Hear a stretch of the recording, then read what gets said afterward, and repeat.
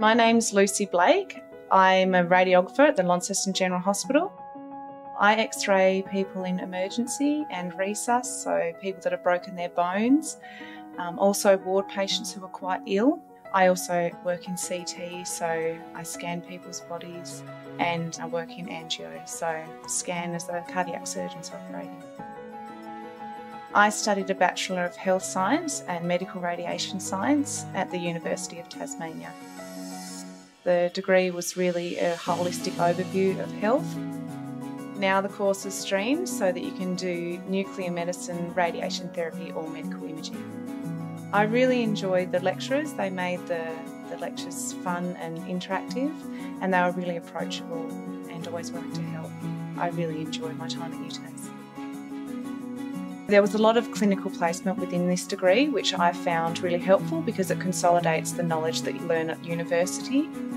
I did my clinical placement at the Launceston General Hospital. I think it's always helpful when you know the people where you're applying for jobs because it gets your foot in the door. So I believe that helped me get my job here. I did my professional development year at the Launceston General Hospital and after six months I was able to do on-call work and after two years I was trained in CT and angiography. In this field there's always room to progress so you can always do further study and get further training in specialist modalities such as MRI and ultrasound. Emergency is a fun place to work because there's always something different, you never quite know what to expect.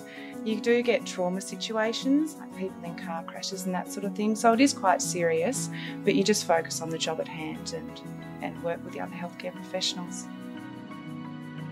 I definitely would recommend this qualification. I really love my job and I think I'm really lucky. Definitely the healthcare sector is a really rewarding place to work.